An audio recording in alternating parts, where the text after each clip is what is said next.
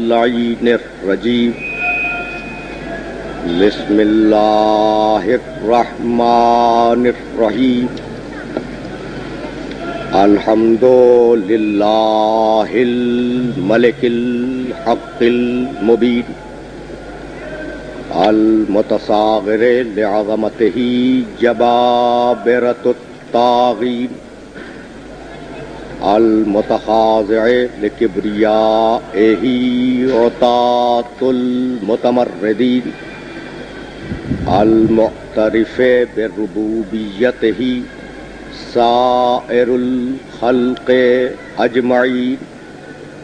वसलातु वसलाम वतहत वल इकराम अला अशरफिन नबीना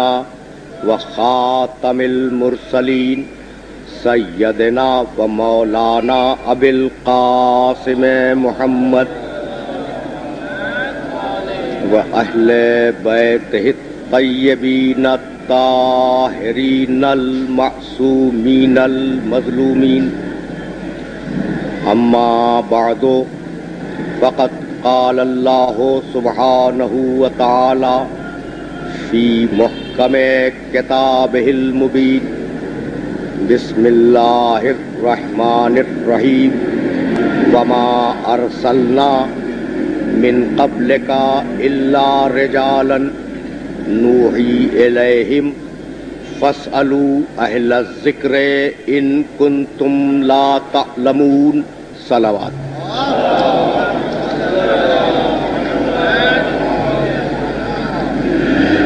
अजीजा मोहतरम, मौजू आपके इल्म में है। उस मौजू के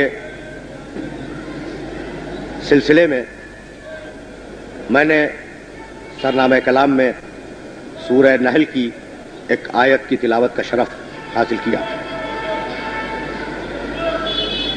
सूर्य नहल कुरान मजीद का सोलवा सूरा है। और उस सूर्य की जो आयत मैंने आपकी खिदमत में पेश की है, उस आय मुबारक में परवरदगार ने दो मुख्तलिफ़ खिताब किए। एक खिताब पैगंबर अक्रम से है, दूसरा खिताब उम्मत से है। वमा अरसल्ला मिन कबल का इल्ला रे जालन हबीब, तुमसे पहले हम जितने भी रसूल भेजते रहे हैं, वो सब के सब मर्द थे। नूही अलहिम, और हम उन पर अपनी वही नाजिल किया करते थे। इतना खिताब आयत का पैगंबर अक्रम से। और अब परवरदगार ने मुखातब किया उम्मत को। फस अलू अहल ज़िक्र इन कुन तुम ला तालमून और सुनो, इंसानों, सुनो। अगर तुम जाहिल हो, अगर तुम जानते नहीं हो, अगर तुम्हें वाकफियत नहीं है तो अहलु ज़िक्र से सवाल करो, तुम्हारे पास इल्म आ जाएगा। हमें इसी मुख्तसर से टुकड़े पे बहस करनी है, और यह देखना है कि इस आय मुबारक के इस जुज में परवरदगार आलम ने वो क्या राज रखा जिसकी बुनियाद पर आज तक इश्तिहाद तकलीद का इदारा कायम है। तो हुक्म आयत यह है कि फस अलू अहल ज़िक्र इन कुन तुम लातालमून इंसानों सुनो, अगर तुम जाहिल हो और किसी मसले को मालूम करना चाहते हो तो अहलु ज़िक्र से पूछो और अहलु ज़िक्र से सवाल करो। इस आय मुबारका में दो हुक्म है। एक तो बड़ा सामने का हुक्म है कि अहलु ज़िक्र से पूछो और अहलु ज़िक्र से सवाल करो। लेकिन मेरे मोहतरम सुनने वाले, अगर तवज्जो करें तो इस एक आयत में दो जिम्मेदारियाँ परवरदिगार ने लगाई हैं इंसानों पर। भाई, पहली ज़िम्मेदारी तो यह है, जो आयत में वाजे है कि अहलु ज़िक्र से पूछो। और दूसरी ज़िम्मेदारी, जिसको आयत में वाजे नहीं किया गया, वो ये है कि पहले ये तो मालूम करो कि अहलु ज़िक्र है कौन। तो जब तक अहलु ज़िक्र न मालूम हो, उस वक्त तक अहलु ज़िक्र से सवाल मुमकिन नहीं है। अच्छा तो अब हम ये कैसे मालूम करें? अब जरा सी हम अकीदे पे गुफ्तु कर लें और फिर बरह रास्त फुरुद्दीन की तरफ़ चले जाएँगे, यानी इश्तेहाद की तरफ़। तो अब ये कैसे मालूम हो कि ये अहल ज़िक्र है कौन? जिनके लिए परवरदगार ने कहा कि अगर तुम जाहिल हो तो अहल ज़िक्र से सवाल करो। अच्छा अब मेरे मोहतरम सुनने वाले, यकीनन मुतवजे होंगे कि परवरदिगार ने इस आय मुबारक में हुक्म आम दिया है कि सवाल करो अहल ज़िक्र से। क्या पूछो या नहीं है? फ़िका का सवाल करो, माशियात का सवाल करो, सियासियात का सवाल करो, फलसफे का सवाल करो, इल्म कलाम का सवाल करो। भाई कोई लिमिट की है कहीं पर कि भाई ये पूछना और ये ना पूछना? हुक्म आम है कि अहल ज़िक्र से सवाल करो अगर तुम जाहिल हो। इसका मतलब यह है कि अहल ज़िक्र जो भी हो, मैं इस मौजूद पे अभी बात नहीं करना चाह रहा हूँ। अहल ज़िक्र जो भी हो, उसे इस काबिल होना चाहिए कि जिस इल्म का भी सवाल किया जाए, वो जवाब देने की पोजीशन में हो। वो जवाब दे सके। अब जो भी हो अहलू ज़िक्र। अब अब हम अभी तय करेंगे कि ये अहलू ज़िक्र कौन है, जिनके लिए परवरदिगार ने कहा है कि अहलू ज़िक्र से सवाल करो अगर तुम चाहिए देखिए, मुख्तलिफ़ मकामात पर कुछ हुक्म कुरान में है। और कुछ हुक्म पैगंबर अकरम की हदीस में। वो सारे अहकाम अगर आप जोड़ लें तो एक अजीब नतीजे तक पहुँच जाएँगे। पहला हुक्म फस अलू अहल ज़िक्र इन कुन तुम लातालमून सवाल करो अहल ज़िक्र से अगर तुम जाहिल हो। तो अब हमारा और आपका फरीजा क्या है? पूछना है अहल ज़िक्र से। इसे जहन में रखें। अब दूसरी आय मुबारक। या अयुहल्लजीन आमनु, इत्तकुल्लाह व कूनू मासादीन अय ईमान लाने वालों, अल्लाह का तकवा इख्तियार करो और रहो सादकीन के साथ। सवाल पूछो अहल ज़िक्र से, रहो सादकीन के साथ। अब दो हुक्म तो मेरे मोहतरम सुनने वालों की खिदमत में हाजिर हो गए। अब तीसरा हुक्म, कुल ला असअलुकुम अलैह अजरन इल्लल मवद्दता फिल कुर्बा भाई, रसालत की उजरत यह है कि कुर्बा से मोहब्बत करो। अब तीन हुक्म हो गए कुरान के। अब तीन हुक्म क्या है? मोहब्बत करो कुर्बा से, रहो सादकीन के साथ, सवाल करो अहल ज़िक्र से। अच्छा अब ये तीन हुक्म तो कुरान मजीद के हैं, वरना अहकाम बहुत थे। मैं तो तलखीस पेश करना चाह रहा हूँ और बहस आज की हद तक बड़ी टेक्निकल है। इसलिए मेरे सारे सुनने वाले मुतवजे रहे कि जाना कहाँ है। सवाल करो अहल ज़िक्र से, मोहब्बत करो कुर्बा से, रहो सादकीन के साथ। अब चले पैगंबर अकरम की बारगाह में। पैगंबर अकरम ने कहा, इन्नी तारकुन फीकुम सकलैन मशहूर मारूफ रवायतें हैं और मशहूर मारूफ आयते हैं। इन्नी तारकुन फीकुम सकलैन किताब अल्लाह है, व इतरती अहल बैती, माँ इन तमस्सक बेहमा, लन तजिल्लुबादी मैंने पूरी रिवायत भी नहीं पढ़ी। मैं तुम में दो गिरा कदर और वजनी चीज़ें छोड़ के जा रहा हूँ। एक अल्लाह की किताब, दूसरे मेरी इतरत, मेरे अहले बैत। माँ इन तमस्क तुम बेहमा, लन तजिल्लु बादी। जब तक तुम इनसे मुतमसिक रहोगे, गुमराही से बचे रहोगे। सवाल करो अहलू ज़िक्र से, रहो सादकीन के साथ, मोहब्बत करो कुर्बा के साथ, और अब चौथा हुक्म क्या है? तमस्सुक करो अहले बैत के साथ। चार हुक्म हो गए? और अब फिर वापस चले कुरान की तरफ़। या अयुहल्लदीना आमनु अतीउल्लाह व अतीउर रसूला व उलिल अमर मिनकुम। एतात करो उलुल अमर की। ये अहकाम देखते जाए। अब मैं फिर दोहरा रहा हूँ उन नौजवान दोस्तों के लिए जो बाद में आए कि भाई रहो सा, सादकीन के साथ। सवाल पूछो अहल ज़िक्र से। मोहब्बत करो उर्बा से। तमसुक रखो इतरत से। एतात करो उलुल अमर की। ये हुक्म सामने तो आ गए ना। अब फिर पैगंबर ने कहा, मसलो, अहल बैती, का मसले सफीनत नूहिन, मन रखे बहा नजा वमन तखल्लफा नहा गरे का बहवा। मेरे अहल बैत की मिसाल, नूह की किश्ती की मिसाल है। जो सवार हो जाए, वो नजात पा जाए। जो मुँह को फेरे, वो हलाक हो जाए, वो डूब जाए। तो सवार हो जाओ सफीना अहल बैत में। अब कितने अहकाम हैं और कितने अजीब गरीब अहकाम हैं। भाई, रहना है अगर आपको तो सादकीन के साथ रहें। मोहब्बत करनी है तो कुरान पास जाए। एतात करनी है उलम के पास जाए। सवाल पूछना है, अहल ज़िक्र के पास जाए। सवार होना है, अहल बैत के पास जाए। तमस्सुक इख्तियार करना है इतरत के पास जाए। भाई, यही तो है ना? तो अब मैं पूछूँ अपने सारे मोहतरम सुनने वालों से कि अगर ये पाँच अलग अलग लोग हों अहलुल ज़िक्र, उलुल अमर, सादकीन, इतरत अहले बैत पाँच लफ्ज है ना? तो अगर ये पाँच अलग अलग लोग हो और एक हो नॉर्थ नाजमाबाद में दूसरा हो खारादर में तीसरा हो लांडी में चौथा हॉक्सबे के ऊपर रहता हो तो आप सवाल पूछने के लिए भागेंगे अहलू ज़िक्र के पास रहने के लिए भागेंगे सादिकीन के पास तमस्सु के लिए भागेंगे इतरत के पास सवार होने के लिए भागेंगे अहले बैत के पास तो सारी ज़िंदगी बसों ही में गुजर जाएगी। भाई है, है या नहीं? यानी रास्ते ही में सारी ज़िंदगी गुजर जाएगी। तो यह मंतिक नहीं है। यह मुमकिन नहीं है कि परवरदिगार और परवरदिगार का पैगंबर ऐसे हुक्म दे जिसमें ज़िंदगी बर्बाद हो जाए।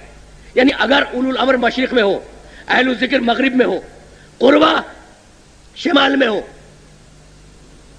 इतना जुनूब में हो तो एक के पास रहना है, दूसरे की एतात करनी है, तीसरे से तमस्सु करना है, चौथे से सवाल पूछने हैं तो अब यह मुमकिन नहीं है कि आप मशरक, मगरिब, शिमाल, जुनूब भागते फिरें। इसलिए अकल यह कहती है कि जो कुर्बा होंगे, वही इतरत होंगे, वही अहल बैत होंगे, वही साहिब अमर होंगे और वही अहल ज़िक्र होंगे। बात बात बात तो वादे हुई ना? वही लोग अहल ज़िक्र होंगे। तो अब परवरदिगार ने हुक्म क्या दिया? फस अलू अहल ज़िक्र इन कुन तुम लातालमून तुम सवाल करो अहल ज़िक्र से। अगर तुम जाहिल हो। भाई, मेरे मोहतरम सुनने वाले, मुझे नहीं मालूम कि वाकिफ हैं या नहीं। कि उसूल फ़िक्र में फ़िक्र के अलावा एक इल्म है, जिसका नाम है उसूल फ़िक्र उसूल फ़िक्र में यह बात तयशुदा है कि परवरदिगार अगर कोई ऑर्डर करे तो अगर उसमें मुस्तहब होने का कोई करीना ना हो तो वो ऑर्डर वाजिब है। वो हुक्म और वो अमर वाजिब है। तो परवरदिगार ने कहा फस अलू अहल ज़िक्र इन कुन तुम लातालमून अगर तुम जाहिल हो तो अहल ज़िक्र से सवाल करो। सवाल करो अमर है। तो अब हमारा सवाल करना यह वाजिब है और उनका जवाब देना वाजिब है। अगर अगर यह तमहीद वाजे हो गई हो तो जब तक भी इस कायनात में और इस दुनिया में हमें अहल ज़िक्र मिलते रहेंगे, हम अपनी लाइलिमी को, अपने मसाइल को, अपनी मुश्किलात को और अपने प्रॉब्लम्स को अहल ज़िक्र के सामने पेश करेंगे। लेकिन जब इस दुनिया से अहल ज़िक्र चले जाए और रहने वाला अहल ज़िक्र पर्दे गैब में चला जाए तो फिर अब हमारी प्रॉब्लम क्या हो? यह है वो मसला, जहाँ तक अपने सुनने वालों को लेके आना था। कि भाई, जब तक अहल ज़िक्र सामने है, नमाज़ पूछनी है, उनसे पूछो, रोजा पूछना है, उनसे पूछो, हज पूछना है, उनसे पूछो। लेकिन अगर अहल ज़िक्र उड़ जाए, और एक अहल ज़िक्र ऐसा हो जो पर्दे गैब में बैठ जाए तो अब हमारी प्रॉब्लम कैसे हल हो? तो बहुत तवज्जोहात मकबूल रहे। मैंने अभी 19, 20 और 21 रमज़ान की शबों में तकरीर करते हुए एक मसला छेड़ा था। और मैं चाह रहा हूँ कि उस मसले की कुछ तशरीहत और कुछ तफसीलात आपकी खिदमत पेश करूँ ताकि यह बात खुल के आपके सामने आ जाए। भाई हमें पूछना था अहलु ज़िक्र से और आज अहलु ज़िक्र में से कोई भी मौजूद नहीं है। ऐसा जिसे हम पूछ सकें और अगर है तो पर्दा गैब में उसकी हमारी बात नहीं हो रही। अब हम करें क्या? तो यह मसला जिसे हम और आप सोच रहे हैं बैठे हुए कि हम क्या करें, इसे सदियों पहले सोचा गया। और सदियों पहले जो सोचा गया तो उसका जो नतीजा निकला, वो नतीजा आपकी खिदमत पेश कर रहा हूँ। यह जहन में रहे कि मसला बहुत टेक्निकल और बड़ा फनी है। और मैं कोशिश यही करूँगा कि आसान, तरीन लफ्जों में उस मसले को आपकी खिदमत पेश करूँ और ज़्यादा तफसीली बात भी नहीं करूँगा, मुख्तसर बात करूँगा।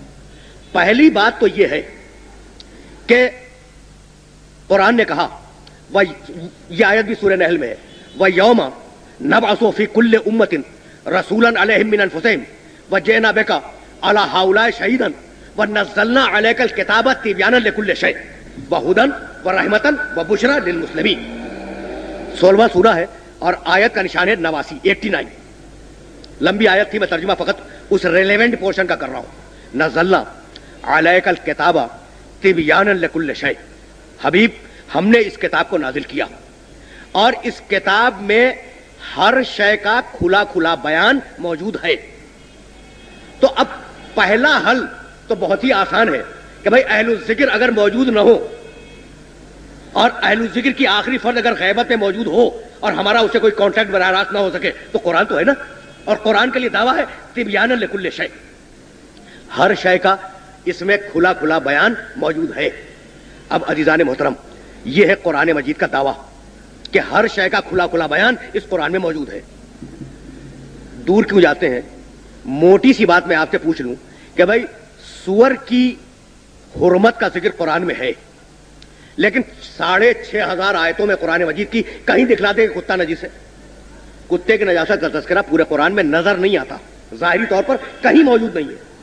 अच्छा तो अब कुरान तो कह रहा था तिबियान कुल्ले शय इसमें हर शय का खुला खुला बयान मौजूद है।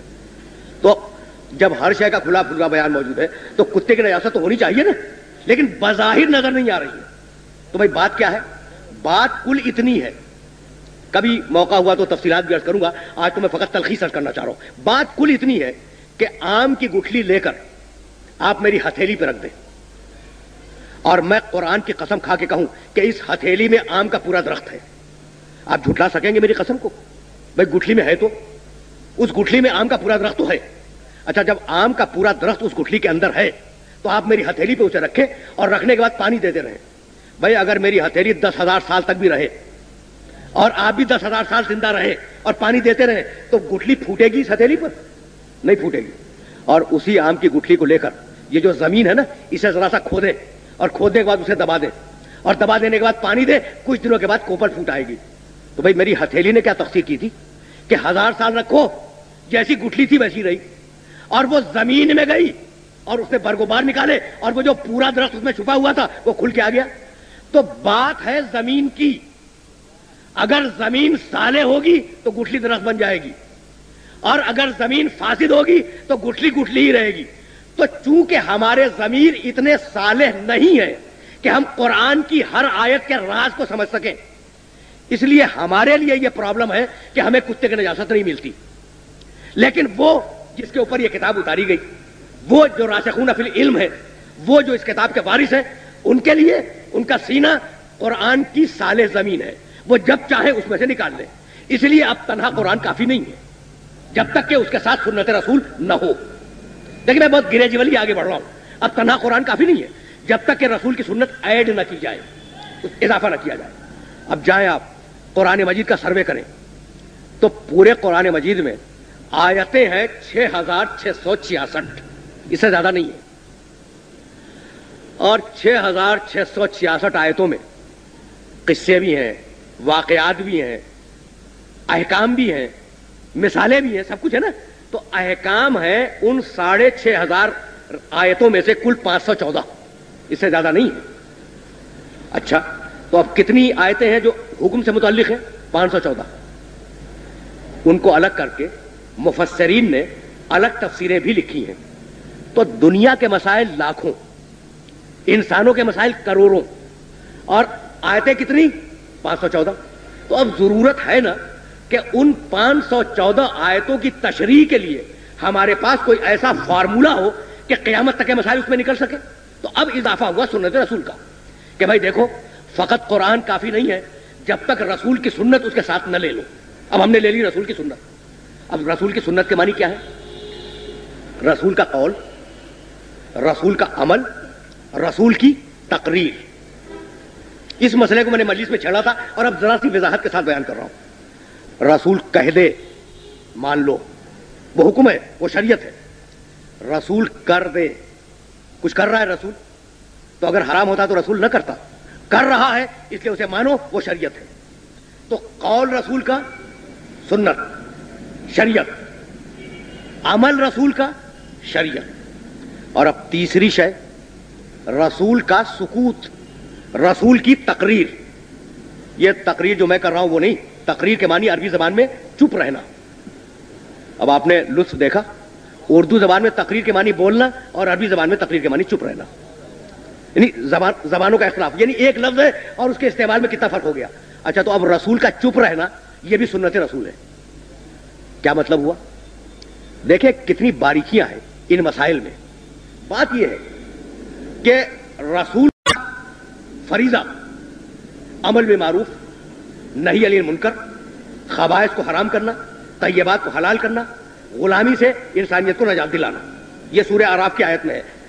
सातवां सूरा है सूर्य आराफ। और आयत का निशान है एक सौ सत्तावन। अल्लाजीना यत्तबऊन रसूल नबी उम्मी लजी यजदून मकतूबन इंदहुम फित तौरात वल इंजील यामुरहुम बिल मारूफ व यनहाहुम अनिल मुनकर व युहिल्लो लहुम तय्यबात व युहर्रिमु अलैहिमुल खबाइस व जजाओ अनहुम इसरहुम वल अगलाल लती कानत अलैहिम। फल्लजीना आमनु बही व अज़रूहो व नसरूहो व तबाउ नूर अल्लजी उनजिल उलाए का हुमुल मुफलिहून। कितनी तवील आयत है? लेकिन मैं पूरी आयत को इस्तेदार में पेश नहीं कर रहा हूँ, मैं तो एक लफ्ज के लिए आयत पढ़ रहा हूँ।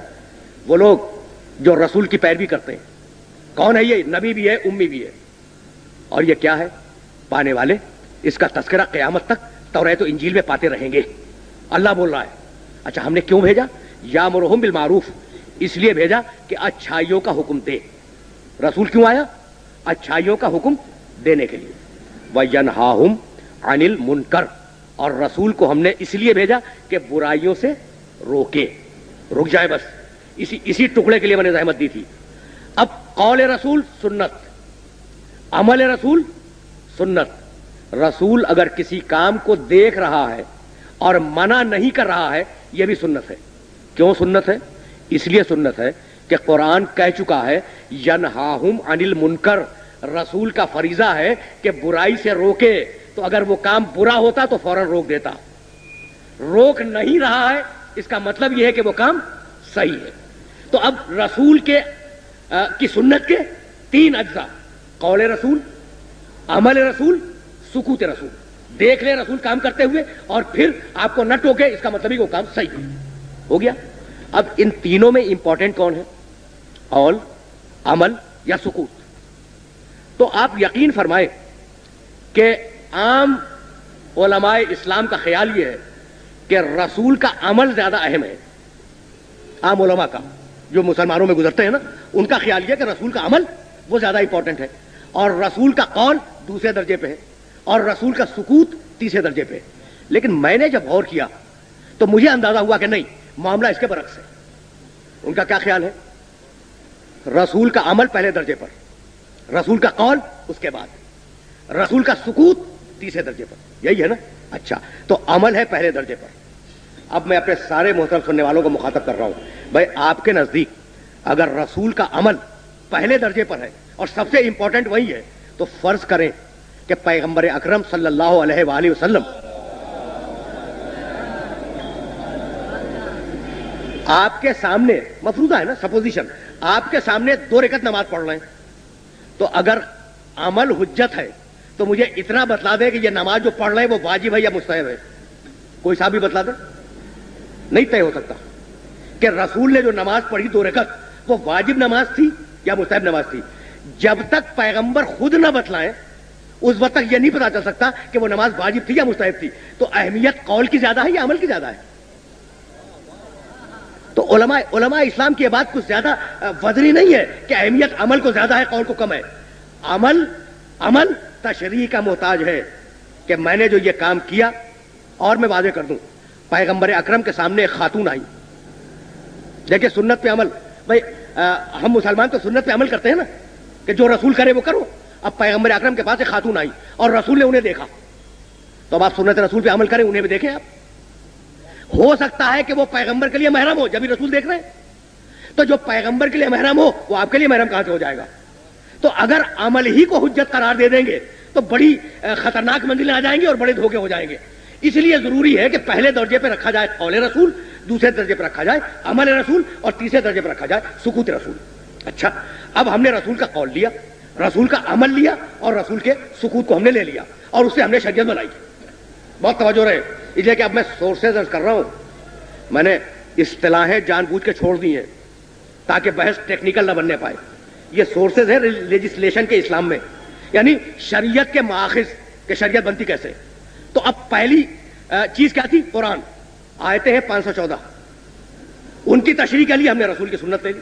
अच्छा अब आपने रसूल की सुन्नत ले ली था उनका कौल भी लिया, उनका अमल भी ले लिया। और उनके सामने कोई किसी ने कोई काम किया। रसूल नहीं बोले, आपने उसे भी रिकॉर्ड कर लिया तारीख में। अब वो पूरा रिकॉर्ड आपके सामने आया। तो मैं ये अर्ज़ कर रहा था कि पैगंबर अकरम से जितनी रिवायतें आई हैं, सिहाय सित्ता में बड़ी एहतियात से बात करनी पड़ती है ना। और दूसरे जखीरा अहादीस में जितनी भी रिवायतें आई हैं, उन सबको जमा करें, उनकी तादाद सात हज़ार से ज़्यादा नहीं है। मुकर्रात को हटाने के बाद, रावियों के अख्तिलाफ को खत्म करने के बाद, जो पैगंबर अकम से यानी उसमें वजी भी होंगी, जारी रिवायतें भी होंगी, उनकी सारी की तादाद क्या है? सात हज़ार।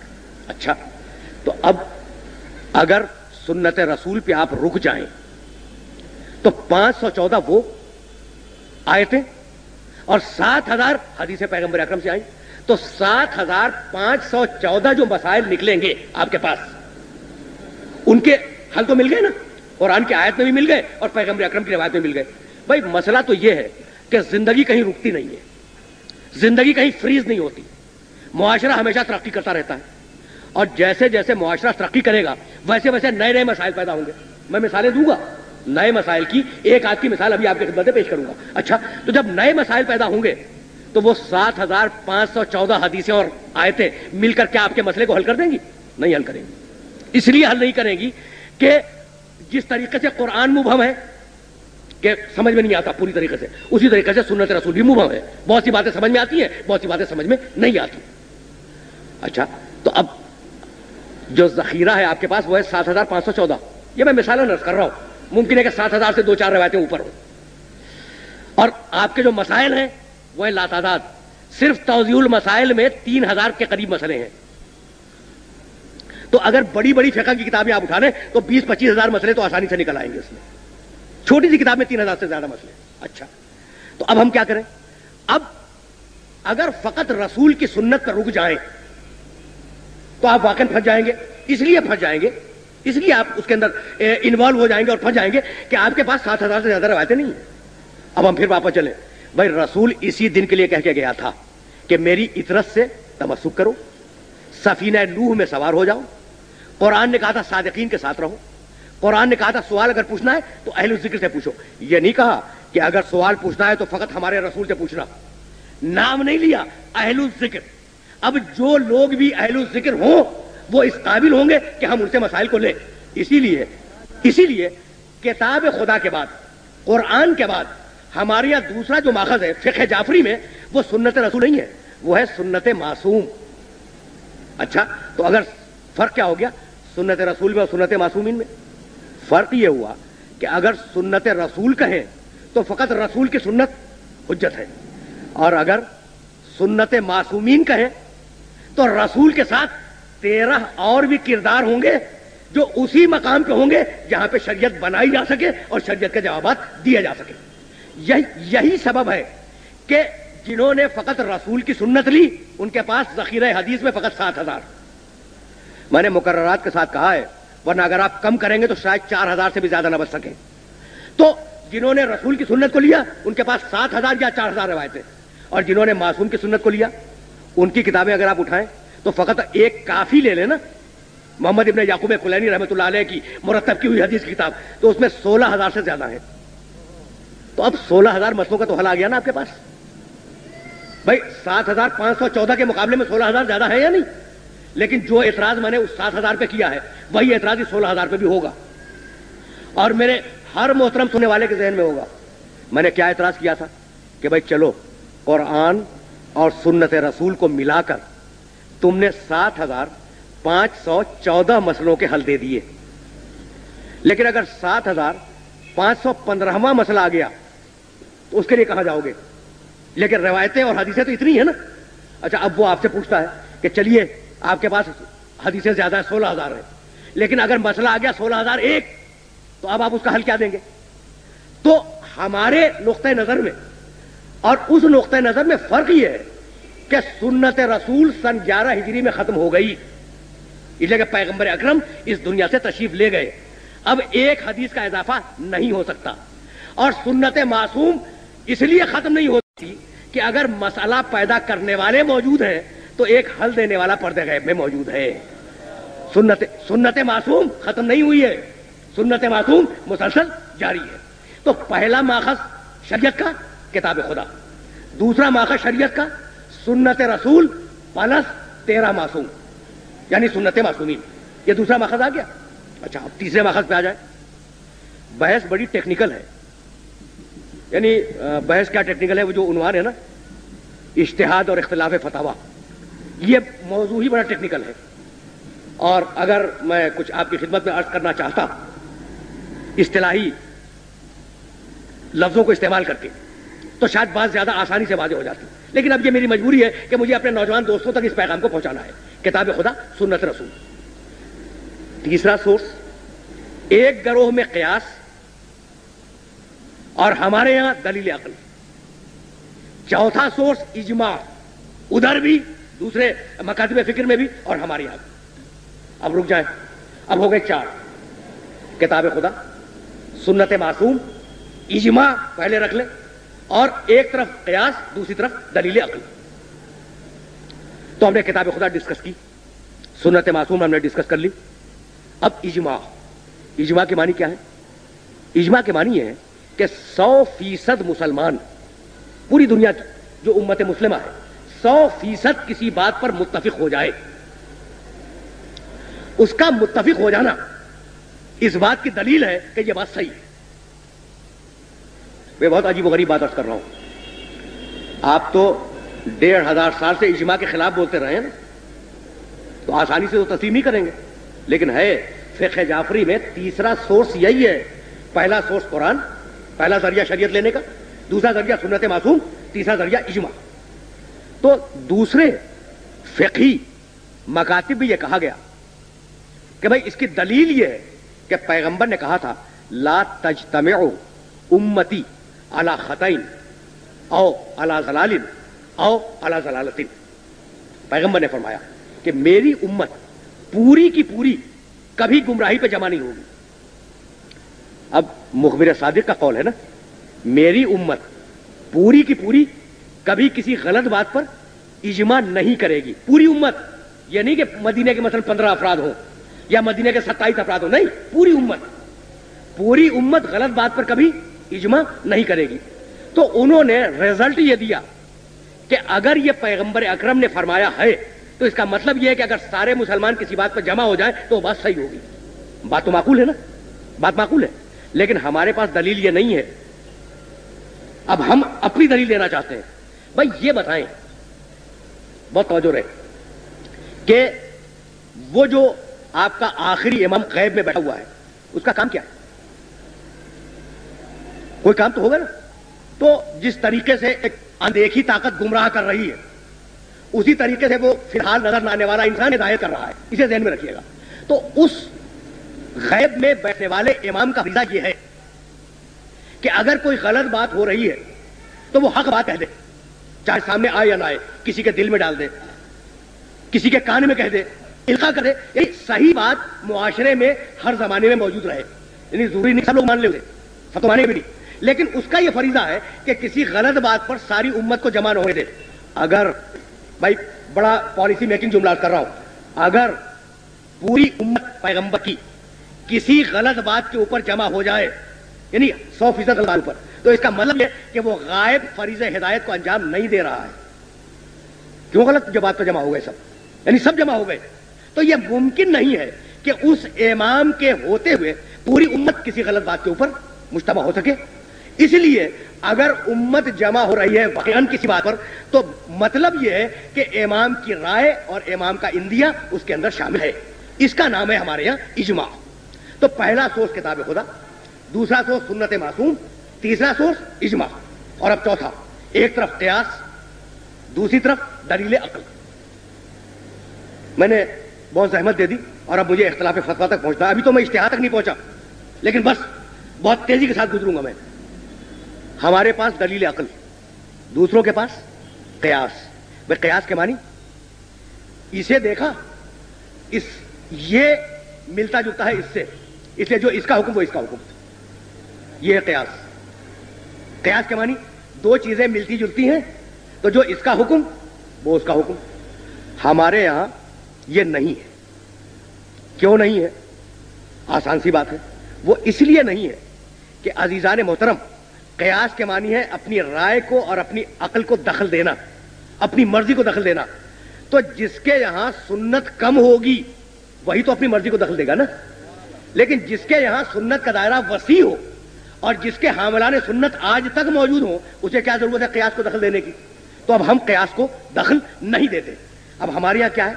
हमारे यहाँ है दलील अकल। तो अब आप कह दें कि साहब, ये तो नाम का फ़र्क है। वो कहते हैं कयास, आप कहते हैं दलील अकल। तो फ़र्क क्या हुआ? नहीं, फ़र्क है। यही बताना है। हमारे यहाँ जो दलील अकल है, वो सुन्नत मासूम और कुरान मजीद की रोशनी में है। मसलन, मैं मिसाल दे दूँ।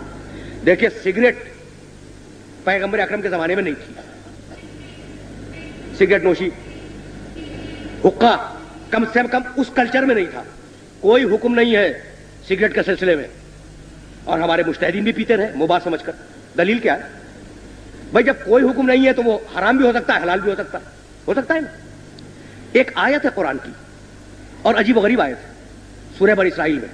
यह दलील अकल समझाने के लिए अर्ज़ कर रहा हूँ। मा कुन्ना मुअज्जबीना हत्ता नव असा रसूला अल्लाह फरमाता है कि हम किसी पर भी उस वक्त तक अजाब नहीं करते, जब तक उसके पास पैगाम न पहुँचा दे। बात तो बड़ी बात है ना? कौम लूत के पास पैगाम आ गया, उन्होंने नहीं माना आजाब आ गया। कौम लू के पास पैगाम पहुँचा, उन्होंने नहीं माना आजाब आ गया। तो परवरदिगार क्या कह रहा है? कि हम किसी इंसान पर भी अजाब नाजिल नहीं करते, जब तक उसके पास पैगाम न पहुँचा दे। रिज़ल्ट क्या निकला? रिज़ल्ट क्या निकला कि अल्लाह की सीरत में मैसेज भेजे बगैर आजाब देना नहीं है। अल्लाह की सुन्नत में और उसकी सीरत में पैगाम दिए बगैर आजाब देना नहीं है। अब मुश्तहिद ने रिज़ल्ट क्या निकाला? मुश्तहिद ने रिज़ल्ट यह निकाला कि अगर यह तंबाकू हराम होती तो हमारे पास पैगाम आया होता। कितना कितना क्लियर कट रिज़ल्ट है, कितना क्लियर कट इश्तेहाद है जो इसके अंदर से निकला। अगर तंबाकू हराम होती तो हमारे पास पैगाम आया होता। हमारे पास पैगाम नहीं आया है तो अब अगर हम पी के उसकी बारगाह में जाए तो आजाब तो देगा नहीं। और जिस चीज़ पे आजाब न दिया जाए, वो मुबाह होगी। तो इतनी आसानी के साथ उसके मुबाह होने का फतवा हमारे मुस्तैदीन ने इसे एक छोटी चाय से दे दिया। तो हमारे यहाँ जो चौथा सोर्स है दलील अकल, उस सोर्स का मतलब यह नहीं है कि अकल में जो आया वो ठोक दिया। नहीं। कुरान को देखो, हदीस को देखो, और जो कवायद कुल्लियात बयान किए गए हैं, उन कवायद कुल्लियात की रोशनी में तुम नतीजे अख करो। इसका नाम है दलील अकल। तो अब हमारे पास चार सोर्स किताब खुदा है रसूल और मासूम की सुन्नत है, इजमा है, दलील अकल है। वो लेके हम ये 1990 में बैठे हुए हैं। अच्छा अब मैं पूछना चाहता हूँ कि भाई रसूल के जमाने में तो आप मुकल्लफ थे, नमाज़ पढ़ो, रोजा रखो, क्या आज मुकल्लफ नहीं है? आज भी है। अच्छा रसूल के जमाने में अगर कोई मसला होता था, रसूल से पूछ लेते थे। तो पहली बात, आज हम मुकल्लफ हैं। दूसरी बात, हम उस जमाने में अगर होते, रसूल या मासूम से पूछ लेते, आज ना रसूल है, ना मासूम है, नंबर दो। रिज़ल्ट दे रहा हूँ। नंबर तीन, हमें रसूल अल्लाह की किताब दे गया, अपनी सुन्नत दे गया, और अपने बाद तेरह मासूमों की सुन्नत दे के गया। ये नंबर तीन है। फिर सुने, हम मुकल्लफ हैं, नंबर एक। नंबर दो, आज हमारे पास कोई मासूम नहीं है कि हम डायरेक्ट उससे पूछ सके। ये नंबर दो। नंबर तीन, लेकिन वो रसूल बंदोबस्त करके गया है। खुदा की किताब देके गया, अपनी सुन्नत देके गया, और अपने साथ तेरह मासूमों की सुन्नत देके गया। नंबर चार, अब अगर हम उस किताब को बरह रास्त समझ सकते हैं, उसकी सुन्नत को बरह रास्त समझ सकते हैं, मासूमीन की सुन्नत को बरह रास्त समझ सकते हैं तो हम बैनी व बैन अल्लाह उसे समझे और जो हुक्म उसमें से निकाले, वही हमारे हक में अल्लाह का हुक्म होगा। तो अब वो लोग वो लोग जो वाकन हदीस समझते हैं, सुन्नत समझते हैं, किताब खुदा को समझते हैं, कुरान की सारी तफसीलों से आगाह है, तरीक़े इस्तेमाल से वाकिफ है, उनका फरीज शर्ई है कि वो इस अहद में जब मासूम सामने मौजूद नहीं है, कि डायरेक्ट उसमें से निकाले और निकालने के बाद उस पर अमल करें। तो मुश्तहिद तो छूट गया। कि उसने किताब देखी, सुन्नत देखी, और देखने के बाद रिज़ल्ट निकाला, और रिज़ल्ट निकालने के बाद उसने अमल कर लिया। आप क्या करें और मैं क्या करूँ मसला भाई, अब पब्लिक क्या करे? है ना? तो अब पब्लिक को फिर वापस चलना पड़ेगा। उन मासूमों की बारगाह में कि उनसे इंडिकेशन मिले और उनसे डायरेक्शन मिले। तो मैं यह कर रहा था कि भाई, चार है नवाब अरबाज कहलाते चार। उन चार के आखिरी है अली इब्ने मोहम्मद सैमुरी। सन तीन सौ उनतीस हिजरी में उनका इंतकाल हुआ। अली इब्ने मोहम्मद सैमुरी इन्होंने खत लिखा इमाम के नाम।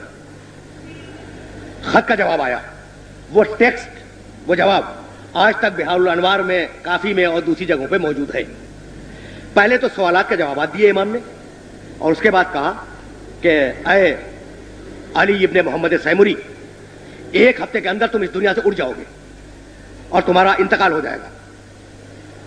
और मैं गैबत कुबरा में चला जाऊँगा। फमनिद रोया फहुआ कजाबुल मुफ्तरिन। और अब जो गैबत कुबरा में गया तो कोई शख्स अगर मेरी रोयत का दावा करे मेरी मेरी आ, मेरे मुशाहिदे का मेरी रोयत यानी मेरा देखना इसका दावा करे इद्या करे यानी नियामत का इद्या करे तो वो कजाब है और झूठा है।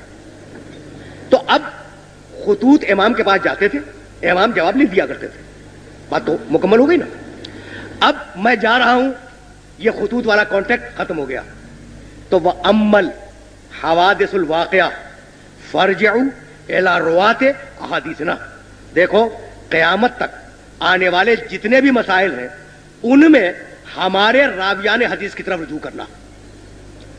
जो लोग हमारी हदीसों की रिवायत करते हैं, उनकी तरफ़ रुजू करना। यह नहीं कहा कि अपनी अकल से मसले हल कर लेना। अकली गद्दे लड़ाने लड़ाते रहना और जो उल्टा सीधा समझ में आ जाए, उस पर अमल कर देना। नहीं, हम हदीसें देके जा रहे हैं। हम अपने अकवाल देके जा रहे हैं। हम कुरान मजीद की तशरी देके जा रहे हैं। तो कयामत अम्मल हवादिसुल वाकया।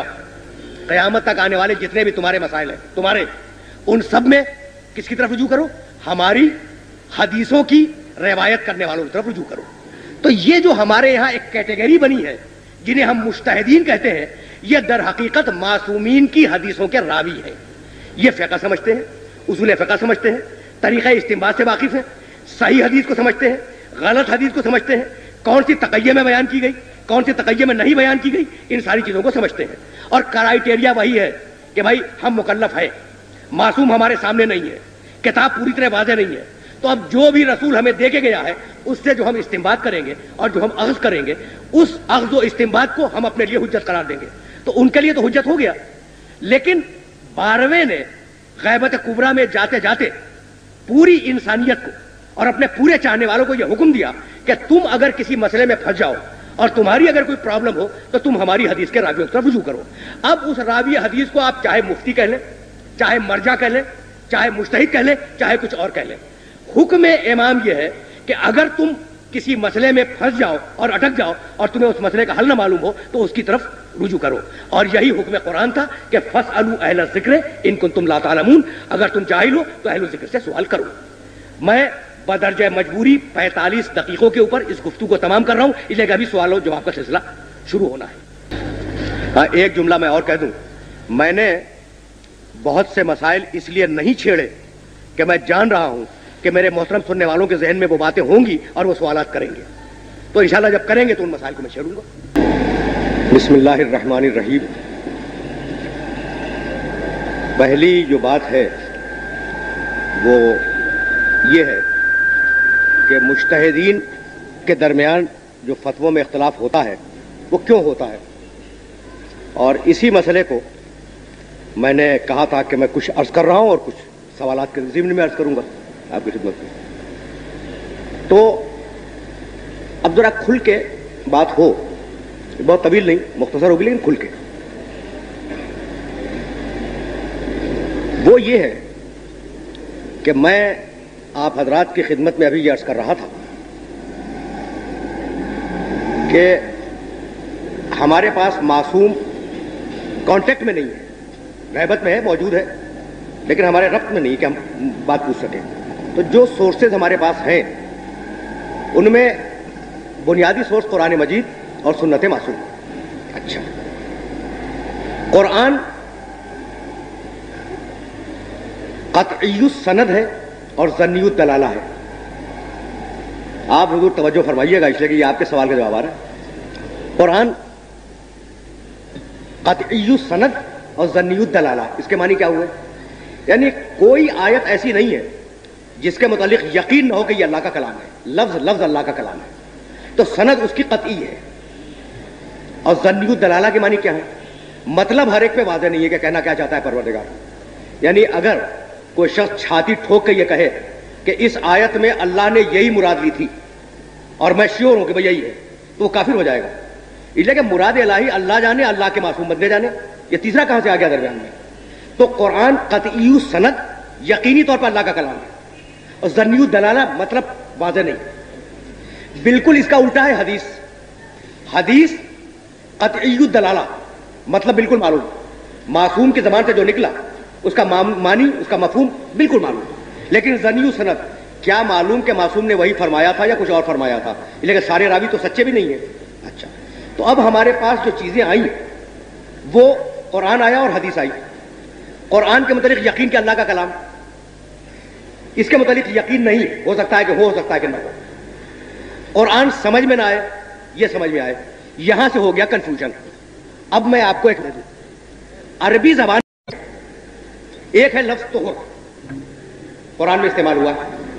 अच्छा तोहर के अजीब मानी तोहर के मानी, औरत की ज़िंदगी में महीने के अंदर वो पीरियड जिसमें औरत नजिस होती है, इसे कहते हैं अरबी जबान में तोहर। और मज़े की बात यह है कि उसी अरबी जबान में तोहर के मानी है, औरत का उस नजासत से पाक हो जाना। तो नहीं, एक ही लफ्ज में नजिस हो जाना भी मतलब है, और एक ही लफ्ज में पाक हो जाना भी मतलब है। अब कुरान ने कहा, भाई, बड़ी मजबूरी है कि मैं उसको वाजे करने पे मजबूर कुरान ने कहा कि देखो, औरतों के करीब मत जाओ, जब तक कि वो तोहर में ना आ जाए। अब बताइए क्या मतलब निकालेंगे आप? अच्छा कुरान है, और थोड़ी देर के लिए आप फ़र्ज़ करें कि हदीस एक भी नहीं मिलती इसके ऊपर। ये मसूद बात कर रहा हूँ ताकि बात वाजे हो जाए। हदीस एक भी नहीं मिलती। और आयत रखी हुई है कि औरतों के करीब मत जाना, हत्ता यथुरना जब तक कि वो तोहर में ना आ जाए। अच्छा तो अब रिज़ल्ट क्या निकला? एक तो लफ्ज करीब आ गया। एक करीब जाना, पास बैठ जाना। दूसरा करीब वो जाना जो निकाह का मंशा है। तो अब करीब जाने के मानी क्या लेंगे आप? पहला सवाल ये हो गया। दूसरा सवाल ये हो गया कि तोहर के मानी क्या लेंगे? कि नजासत डिसकंटिन्यू हो जाए, ये मानी लेंगे, या वो बाकायदा गसल करके ताहिर हो जाए, ये मानी लेंगे। तो एक छोटी सी आयत के चार मानी निकल आए। औरत के पास भी ना बैठो। पहला मानी। औरत से मुखारबत ना करो, दूसरा मानी। जब तक के मैसेज डिसकंटिन्यू ना हो जाए, तीसरा मानी। जब तक कि वो गुसल न कर ले, चौथा मानी। तो इन चार मानियों में से क्या कसम खा के आप कह सकते हैं कि मुराद इलाही क्या है? दुनिया का मासूम के अलावा दुनिया का कोई इंसान नहीं कर सकता। तो मुश्तहिद बैनहू व बैन अल्लाह यह तय करता है कि इन चार मानी में से शायद मुराद इलाही ये हो। उस शायद के ऊपर वो फतवा देता है। तो जब उसे यकीन हो जाता है कि मैं अपनी हद तक पूरा तफाहुस कर चुका सारी रिवायतें देख चुका कुरान की जितनी भी रेलिवेंट आई थी, थी वो सब मैंने देख ली। और मेरा जमीर मेरा बातिन ये कह रहा है कि भाई ये मानी मुराद लेने चाहिए तो उस मानी को मुराद ले लेता है। हो सकता है कि उसी के जमाने में और उसी का हम असर कोई और मुस्तहिद हो और उसके नज़दीक इन चार मानियों में से कोई और मानी अपील कर जाए उसे तो यूँ फतवों में इख्तलाफ पैदा होता है। अच्छा अब उसकी मिसाल मैं और भी वादे कर दूँ। देखें जनाब आप एक बच्चा लेके आए और अब तो माशाल्लाह बहुत लोग बैठे हुए। बच्चा लेके आए और फिर दोस्त से कोने में बैठ के आपने बात करनी शुरू की। बच्चे ने आपसे इजाज़त मांगी कि आप तो बात कर रहे हैं, मैं खेलूं। आपने कहा, खेलो, लेकिन इस चार दीवारी के अंदर खेलना। बाहर गए तो मैं सजा दूँगा। तो अब बच्चे को क्या करना चाहिए? बाहर जाने से परहेज करना चाहिए। लेकिन बच्चे के लिए यह ज़रूरी है कि इस गोशे में खेले, उसमें ना जाए। या वहाँ खेले यहाँ ना आए। नहीं, आपने तो उसे अलाउ किया है कि इस चार दीवारी में जहाँ जी चाहे खेलो। इसी तरीके से शरीयत की जो चार दीवारी है किताब सुन्नत इजमा दलील असल इसमें मुस्तहिद किस मकाम पे बैठ जाएगी उसकी अपनी मर्ज़ी। है और यह है बुनियाद यह है बुनियाद इख्तलाफ फतावा की। अच्छा अब ये हमारा मौजूद बहस नहीं है वरना अगर हम इस मौजू को लेकर बैठ गए कि किस मुश्तहिद ने आ, किस दलील की बुनियाद के ऊपर फतवा दे दिया तो तो हज़ारों हदीसें हज़ारों आयतें यानी एक मसला बन जाएगा। लेकिन चूँकि हमारे दोस्त ने एक सवाल किया था तो हम चाह रहे हैं कि मुख्तसर इस सिलसिले में अर्ज़ कर दें। देखिए, दोनों का अजीब गरीब जज्बा है। वो खुई साहब हो या खुमानी साहब मरहूम हो, इन दोनों का जज्बा अजीब है। पैगंबर अक्रम की आवायत है, सूमू लिर रोया व अफ्तेरू लिर रोया रोयत करो, चाँद देखो, रोजा रखो। चाँद देखो, ईद मनाओ। अच्छा पैगंबर का हुक्म है इमाम जाफ़र सादिक सलाम से भी। ये आयत आई। अच्छा जो जब ये आयत ये, रिवायत आई है। जब ये रिवायत पैगंबर से भी दूसरों के यहाँ मौजूद है हमारे यहाँ भी मौजूद है इमाम से आई हुई रिवायत। तो अब उस मुश्तहिद ने फकत यह किया कि उसने आपकी आँखों पर पाबंदी लगा दी कि भाई आँख से देखो रमज़ान शुरू करो। आँख से देखो ईद शुरू कर दो। अब आपने आँख से नहीं देखा आपके एक मोतबर आदमी ने आँख से देख लिया। उस मोतबर आदमी ने आपको बता दिया गवाही काबिल कबूल थी आपने कबूल कर ली गोया आपने अपनी आँख से देखा। अच्छा तो अब वो आदमी जो ये कह रहा था कि रोयत लोकल प्रॉब्लम है, वो मुस्तहिद जो ये कह रहा था कि रोयत लोकल प्रॉब्लम है, उसकी निगाह के सामने रिवायत थी, जिसकी बुनियाद पर उसने बतवा दिया। अब वो जो ये कह रहा है कि भाई कहीं भी देख लो, ईद हो जाएगी, भाई उसकी भी तो कोई बुनियाद होगी ना। अब उसकी भी बुनियाद सुन लीजिए और बड़ी अजीब गरीब बुनियाद है। यानी मैं कैसे अर्ज़ करूँ? भाई अभी ईद आएगी इंशाला और आप नमाज़ ईद पढ़ेंगे तो कहेंगे जाल तहुल मुस्लिमीन ईदा। परवादिगार तूने इस दिन को मुसलमानों के लिए ईद करार दिया है। तो मुसलमानों के लिए एक दिन ईद करार पाया या पाँच दिन? एक है ना? तो भाई पूरी दुनिया में रोयत एक ही होगी जब ईद एक हो सकती है। बहुत बहुत कन्विंसिंग आर्गुमेंट है। अच्छा अच्छा अब आ जाइए। बिस्मिल्लाहमान रहीम इन्ना अंजल्ला कद्र। हमने कुरान को नाजिल किया कद्र की रात में। कद्र की रात क्या पच्चीस होंगी या पचहत्तर होंगी? कद्र की रात एक ही होगी। तो जब कद्र की रात पूरी दुनिया में एक होगी भाई, बहुत अजीब गरीब बात है। तो रोयत भी पूरी दुनिया में एक होगी। तो इस मुश्तहिद के बाद भी दलील है, उस मुश्तहिद के बाद भी दलील है। इसके बाद भी कुरान हदीस है उसके बाद भी कुरान हदीस। है बात तो बात है ना? इससे ज़्यादा इस सवाल के ऊपर मैं बात नहीं करना चाहता। जी, इर्शाद।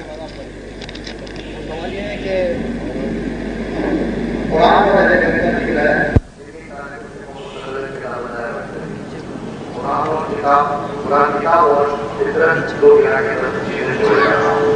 लेकिन या तो एक सिर्फ़ कुरान को पकड़ लिया और एक ने सिर्फ़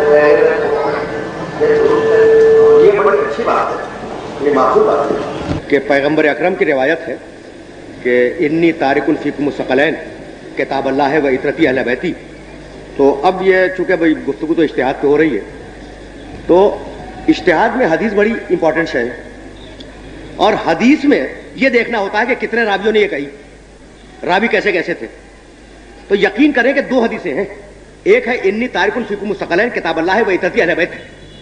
और दूसरी हदीस है, इन्नी तारिकुल फ़िक्म सकलैन किताब अल्लाह है व सुन्नती। ये भी है। चौदह तरीकों से ये रिवायत आई है। यानी मैं दो बराबर की वजनी चीज़ें छोड़ के जा रहा हूँ। एक अल्लाह की किताब, दूसरे इतरत। और मैं दो बराबर की वजनी छोड़, चीज़ें छोड़ के जा रहा हूँ। एक अल्लाह की किताब दूसरे अपनी सुन्नत। तो चौदह तरीकों से रवायत आई है। अब जब चेक करेंगे आप इल्मुल हदीस की किताबों को तो आपको अंदाज़ा होगा कि तेरह तरीकों से है इतरती व अहल बैती। और कुल एक तरीके से है किताब अल्लाह व सुन्नती। यानी सुन्नती का रावी एक है और अहल बैती का रावी तेरह है। तो अगर मिजाज में अक्सरियत है और जमहूरियत है तो तेरह वालों की बात मान लीजिए। नहीं बहुत बड़ी आसान सी है बड़ी सीधी सी बात है कि मिजाज में अगर आपकी अक्सरियत है तो अक्सरियत रावियों की कहती है कि इतरती अहलबैती कहा था लेकिन मैं जनाब भोजानी साहब बड़ी माजरत के साथ अर्ज़ करता हूँ कि ये लोगों को परेशानी होती है कि मैं सुन्नति कहा रसूल ने या इतरती कहा रसूल ने तो ये मैं, मेरे नज़दीक परेशानी नहीं, इसलिए परेशानी नहीं है कि अगर इतरत और सुन्नत अलग अलग हो तो तो परेशानी होगी कि सुन्नति कहा था या इतरती कहा था। लेकिन हमारे मकतब में जो सुन्नत है वही इतरत है और जो इतरत है वही सुन्नत है। इस, इसलिए हमारे यहाँ इस सदी में कोई फ़र्क नहीं है। अगर सुन्नति कहें जब भी उसे आले मोहम्मद मुराद होंगे। और अगर इतरती कह, कह, कह, कह दे पैगंबर अकरम जब भी उसे आले मोहम्मद ही मुराद होंगे इसके अलावा कोई और मुराद नहीं होगा।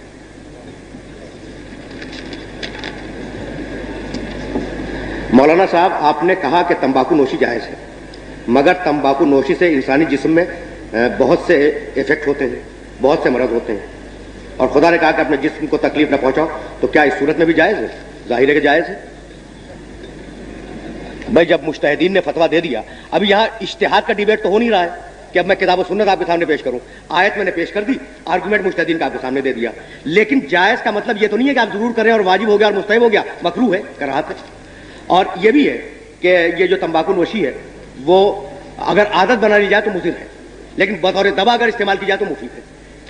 तो उस हद तक तो यकीन जायज़ मानना पड़ेगा जो बतौर दवा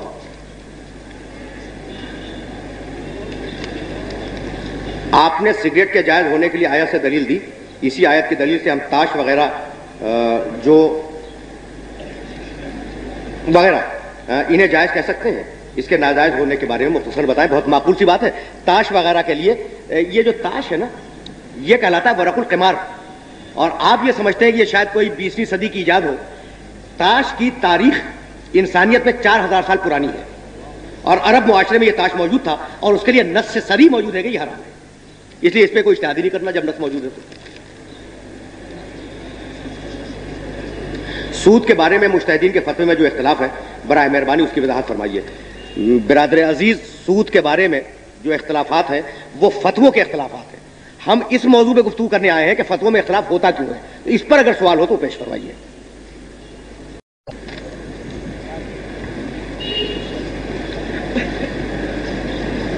मौलाना साहब, आपने अपनी तकरीर का नतीजा यह किया कि किसी भी मसले का हल अहल ज़िक्र के पास मिल जाएगा, यानी दूसरे अल्फाज में मुश्तदीन के पास जवाब मौजूद हैं। क्या तकलीद उनसे सवाल करने का नाम है? क्या दुनिया के किसी मसले, मसलन चैरिटी या पता नहीं क्या लिखा है केमिस्ट्री के सवाल का जवाब मुश्तदीन के पास मिल जाएगा? अगर नहीं तो क्या साइंटिस्ट भी मुश्तिद कहलाएगा? बहुत अच्छी, बहुत माकूल बात है और बड़ा माकूल सवाल है। मैंने ये नहीं कहा कि मुश्तहिद अहल ज़िक्र है। अहल ज़िक्र तो मासूमीन है। और मैंने ये जुमला इशारतन कह दिया था अपने मोहतरम सुनने वालों की खिदमत में कि भाई हुक्म बड़ा आम है, फसलू अहल ज़िक्र। सवाल करो अहल ज़िक्र से। तो कुरान ने यह नहीं कहा कि क्या सवाल करो? केमिस्ट्री पूछो, फिजिक्स पूछो, बायोलॉजी पूछो, साइंस पूछो, फलसफा पूछो, मंत्री पूछो, आर्ट्स पूछो, लिटरेचर पूछो, क्या पूछो? ये नहीं है। तो अब ये जवाब जहाँ भी मिल जाए, ये रिस्पॉन्स वो है अनु ज़िक्र। तो जिस तरीके से फसलू सवाल करो जो जी चाहे उसी तरीके से वो जुमला है अमीर मोमिन का सलूनी, जो जी चाहे पूछ लो। तो अहल ज़िक्र वही होगा जो इस किस्म का चैलेंज कर सके कि जो चाहे मुझसे पूछ लो। ये जो लोग हैं, जिन्हें हम मुस्तैदीन कहते हैं, ये वो है जिनके लिए हमारे इमाम ने कहा था, वह अमल हवादिसुल वाक़ फरजऊ एला रुआत हादिसना तो अहल ज़िक्र हुआ इमाम और मुस्तहिद इमाम की हदीसों का रावी। अच्छा अब सवाल नंबर दो भी था इसमें कि क्या तकलीद सवाल पूछने का नाम है? तो तकलीफ़ सिर्फ़ सवाल पूछने का नाम नहीं है। तकलीद सवाल पूछकर अमल करने का नाम है।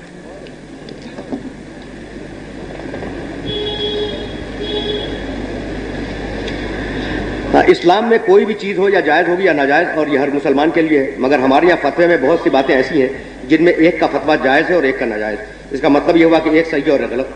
तो क्या हम उसकी तकलीफ़ कर सकते हैं जो कि गलत बात कहें? अच्छा। बिरादर अज़ीज़ ये सवाल भी बड़ा माकूल है कि भाई उसकी तकलीफ़ कैसे करें कि जो गलत बात कहे। लेकिन आपने ये कैसे तय कर, दिया कि किसकी बात गलत है?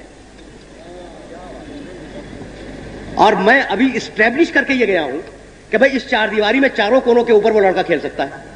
तो मासूम ने जब एक फ्रेम वर्क दे दिया आपको कि भाई किताब सुन्नत इजमा और दलील अकल इसके अंदर रहना है तो अगर इस फ्रेम वर्क से बाहर गया तो गलत है। और फ्रेम वर्क के अंदर है तो चार क्या दो क्या दो के खिलाफ की बात करें पच्चीस मुश्तहिद भी अगर पच्चीस बातें कहें तो सबकी सब सही है।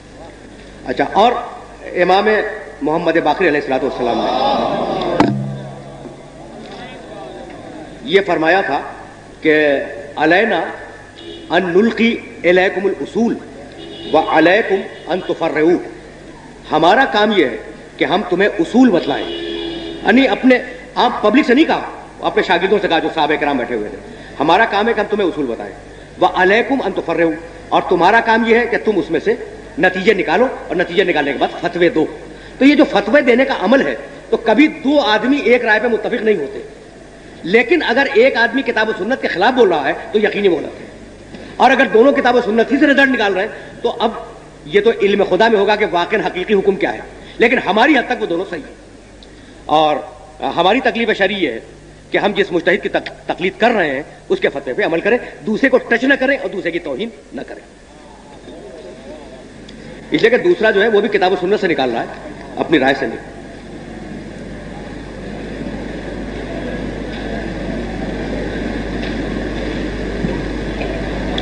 क्या अदल मेंबर का तकाजा यह नहीं है कि मुकर्र वो चीज़ बयान करे जो कौम के लिए जानना ज़रूरी है मसल मसाले फ़िका?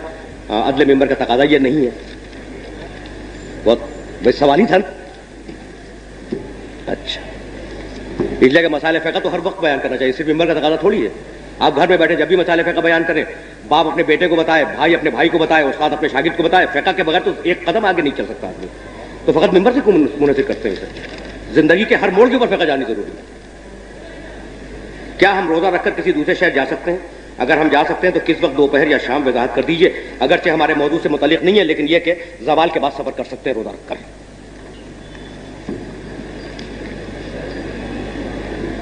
हमें अपने मसाइल के हल के लिए मुश्तदी की तरफ़ रुजू करने का हुक्म मिला। हम कैसे मालूम करें कि कौन सही मुश्तहिद है या ये कि उसका दावा कि वह मुश्तहिद है, सही है? सारे सही मुश्तहिदीन में से किसकी तरफ़ रुजू करें? तरीके की वजाहत फरमाइए। अच्छा। तो यानी सवाल तो तकरीबन दोनों एक ही है। अगर तोजीहुल मसाइल का पहला बाब भी देख लिया जाए तो उसमें वो शराय जो एक मुश्तहिद में होते हैं, वो सब उसके अंदर तफसी से लिखे हुए हैं। लेकिन ज़रा अब वो बालिग हो और आकिल हो और इसना शरी हो और हलाल ज़्यादा हो और वगैरह वगैरह, ये सब शर्तें हैं असल जो केस है, वो केस ये है जनाब, कि इश्तहाद हासिल करने के लिए कितने उलूम की ज़रूरत है। मैं अभी आपसे कह रहा था कि भाई चार तो मोटे मोटे सोर्सेज हैं, किताब खुदा, सुन्नत मासूम, इजमा और दलील अकल। लेकिन ये जो चार मोटे मोटे सोर्स हैं ना, इनको अपने काबू में करने के लिए जिन उलूम का सहारा लेना पड़ता है, उसमें पहले अरबी जबान, दूसरे अरबी सर्फ, तीसरे अरबी नहो, चौथे अरबी लगत। ये चारों अलग अलग चीज़ें हैं। पाँचवें मंतिक, छठे थोड़ा सा इल्म कलाम, सातवें इल्मुल हदीस, आठवें फन हदीस, नवें फन रजाल, दसवें कवायद फ़िक्र ग्यारहवें उसूल फ़िक्र बारहवें फ़िक्र तो जब तक बारह उलूम के ऊपर मुकम्मल कमांड ना हो, उस वक्त तक इंसान मुश्तहिद नहीं बनता। अच्छा साहब, अब वो मुश्तहिद बन गया। जब वो मुश्तहिद बन गया तो हमारे यहाँ ये एक मसला है, और हमारी अक्सरियत इस बात को मानती है कि उन मुश्तहदीन में से जो आलम हो, उसकी तकलीफ़ की जानी चाहिए। अच्छा बात भी माकूल है कि अगर आपके पास दो डॉक्टर हैं, और आपको यकीन है कि एक बड़ा सीनियर है, और बहुत मशहूर मारूफ है, और शिफा भी अल्लाह ने उसको दी है तो आपका दिल चाहेगा कि उसकी तरफ़ जाए। इसी तरीके से दीनी उलूम में जो ज़्यादा माहिर हो, ज़्यादा मुतकी हो, ज़्यादा परहेजगार हो, ज़्यादा कौल मासूम को समझता हो, आपका दिल खुद रागिब होगा कि उसकी तरफ़ रुजू करें। अच्छा अब सवाल यह कि आप कैसे पहचाने कि आलम कौन है और गैर आलम कौन है? तो बिरादर अज़ीज़, या तो आप इस स्टेटस के खुद हो कि आप आलम और गैर आलम में तमीज दे सके। तो आप पर कोई हुज्जत नहीं। नंबर दो, अगर आप इस स्टेटस के नहीं हैं तो अहले खिबरा से पूछे। अहले खिबरा कौन लोग हैं? वो लोग हैं अहले खिबरा। जो इस मेयार के लोग हैं कि जो आलम और गैर आलम में तमीज दे सकते हैं। अच्छा अब अहल खिबरा से आपने पूछा। अगर अहल खिबरा से आपको अहल खिबरा दस्तियाब नहीं है तो वो शिया जो मुफीद हो इल्म के लिए अशियाउल मुफीद हो इल्म यानी वो शोहरत आम जो इल्म के लिए जो जिस पे आपको यकीन हो जाए उस शोहरत आम, आम पे अमल कर ले। भाई पहला मिला उसने कहा मैं फला के मुखलिद में हूँ तकलीद में हूँ। दूसरा मिला उसने कहा मैं फला की तकलीद में हूँ। एक हज़ार आदमी मिले उन्होंने कहा भाई मैं फला की तकलीद में हूँ। तो ये है शोहरत आम फतवे की। तो जब ऐसी शोहरत आम पैदा हो जाए तो आपको हक है कि आप उस मुस्तक की तकलीद कर लें।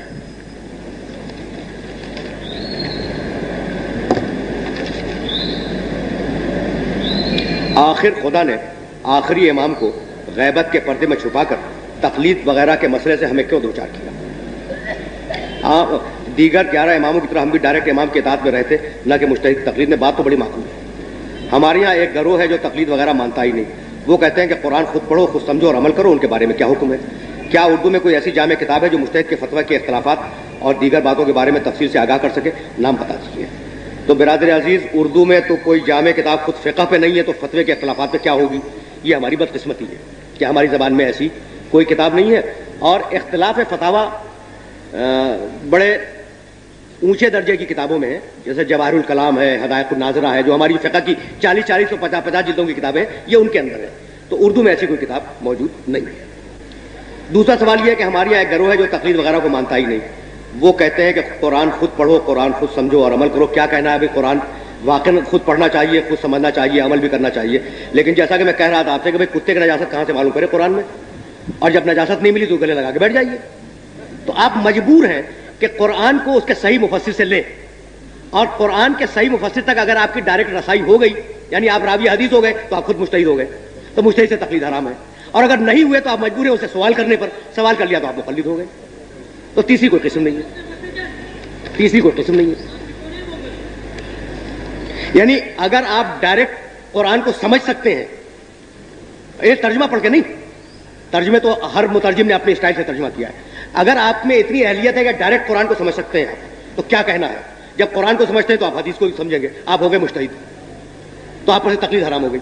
लेकिन अगर नहीं है इतनी सलाहियत तो फिर मुनासिब नहीं है कि आप तर्जुमों के ऊपर अमल करें। अगर आपने किसी तर्जुमे पर अमल कर लिया तो आप उस मुतरजिम के मुकलद हो गए। तो तकलीफ़ के खिलाफ तो बात फिर भी नहीं गई।